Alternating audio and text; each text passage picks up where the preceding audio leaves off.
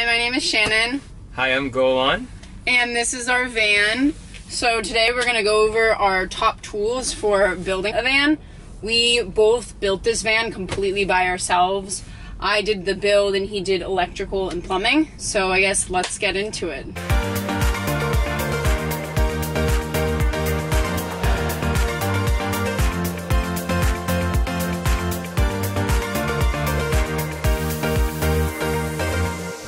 First, I'm gonna go over my top tools for like the build, and then he'll go over his top tools for electrical. And how I'm ranking mine is by like most important tool to least important, even though they're all important. My top tool is a jigsaw. There's so many things you can do with a jigsaw. If you're trying to buy as little things as possible to get the build done, I'd say jigsaw is probably one of the most important things because a van is round there's not really not very many square cuts in the build. So all the things that i did using a jigsaw was cutting the flooring of all the edges around the van. The door panels the door every door panel is rounded. The fan install to cut through the van i installed the fan the walls right here.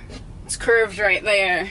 The counters to cut out all like where the sink goes where the stove goes where the cup holder goes and even to cut them cut the different pieces. I also used a jigsaw to cut rust out of the van since our van is kind of old.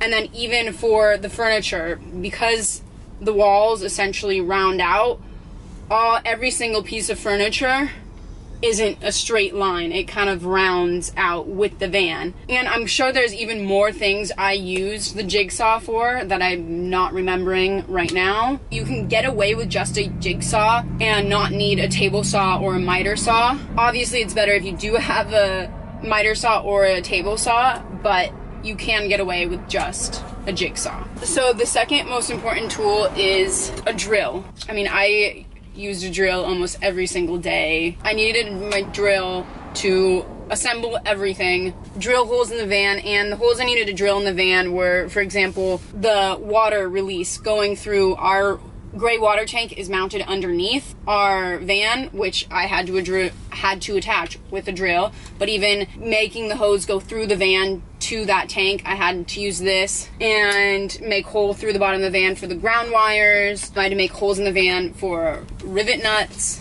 And then for the fan, to make the hole in the van, I used a big drill bit and did four holes in each corner and then used a jigsaw to connect the four. I used a lot of pocket holes throughout the furniture or throughout the build and you need a drill to do the pocket holes. To use a hole saw, drilling these holes for our lights, attaching everything essentially. So if you're gonna build a van, you need a drill. My next tool is a measuring tape. This is kind of obvious, but you need to measure essentially everything that's in the van. So I think that's pretty self-explanatory.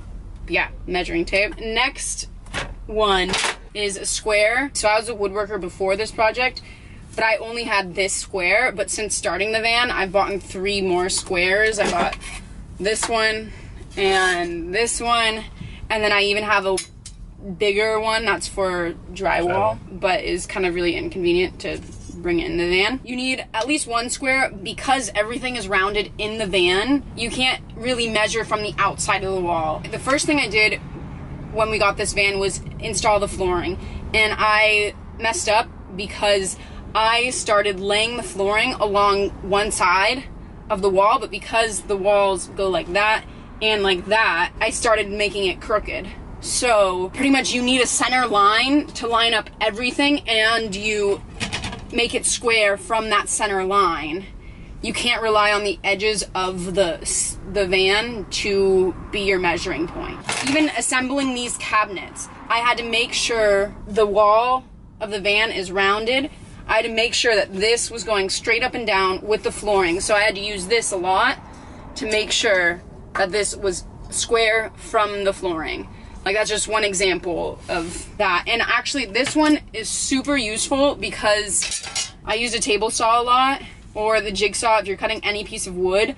I would just measure where I'm supposed to cut it, take this to the table saw, line it up that far, and it just saves a lot of time, this one, because you can adjust it. My next tool is this rivet nut tool, which this essentially helps you put rivet nuts in the walls. It pretty much makes it a lot stronger than just screwing through metal. And I used this for the door panels, for the ceiling, for attaching the furniture to the car. Oh, the, even the curtain rods. How I hung up all of the curtains was with wire, and I attached the the wire with a rivet nut and like a hook. I'll just show a picture because I don't know how to describe this.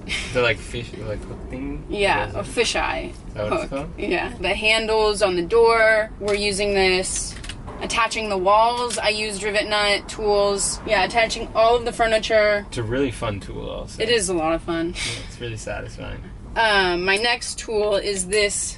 It's called a socket adapter hex square nut driver, I think.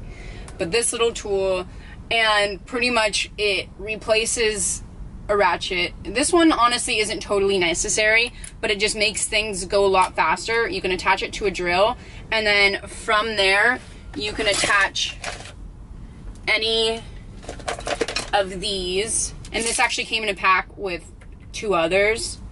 And then you can attach this. This just speeds it up a lot. Next one is a sander.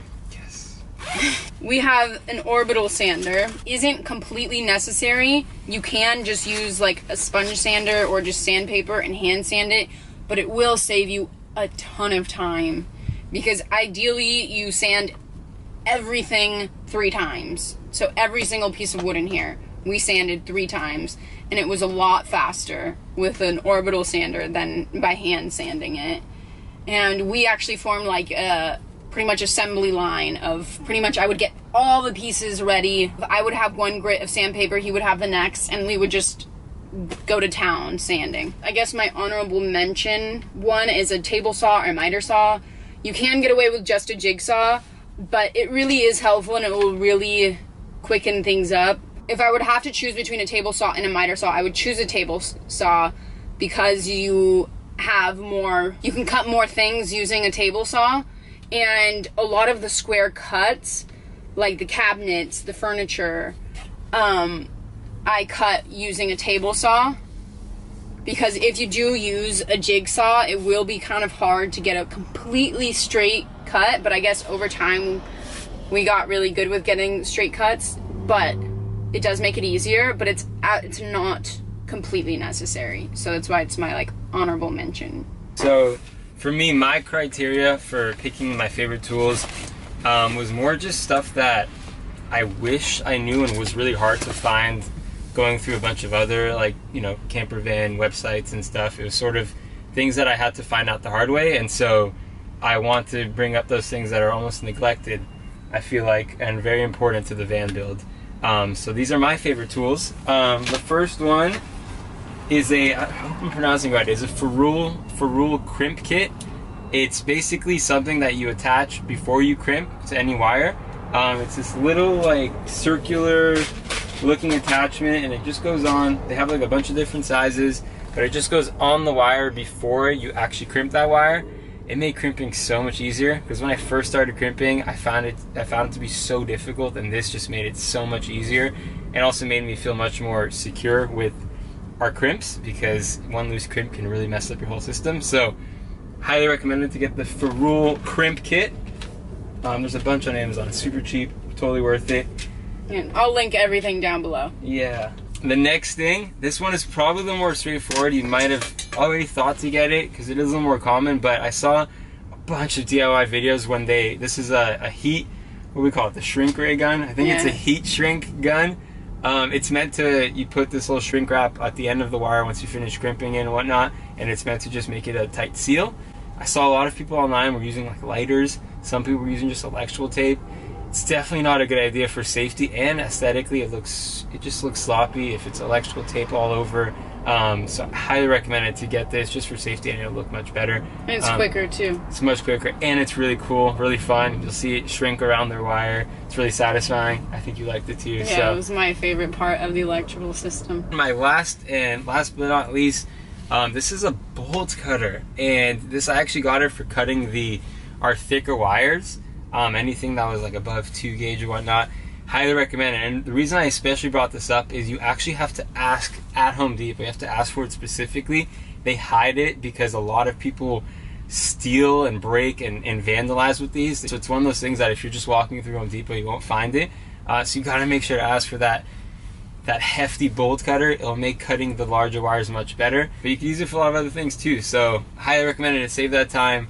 Um, if you got those bigger wires, this is that 3rd and mm-hmm. final thing that I recommend getting. So mm-hmm. I think that's it. Well, thank you guys for watching, and please let us know what other videos you would like to see from us. if you have any suggestions for tools that you feel like might do better jobs than what we've already brought forward, please Add in the comments if we missed any tools. Well, thank you guys, and see you next time.